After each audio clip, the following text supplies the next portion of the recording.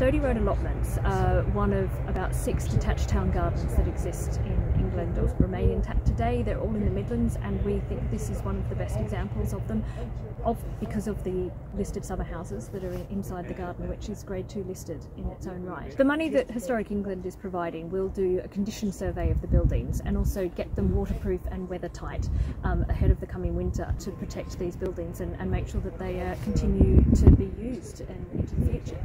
The grant's really really important because I've the first time I visited Stoney Road allotments and I've learnt so much about it. So town gardens uh, there are very few examples in England and this is one of the best and there's buildings like this here that are full of history and I'm just so impressed with, with what I've seen today. There are so many people here on the on the allotments uh, talking, working together, looking about how they how they do different things and these buildings add something different as well. I hope this encourages more people to come and, and enjoy the space in different ways. These are beautiful green spaces in the middle of our city and you know we're looking to, to improve them.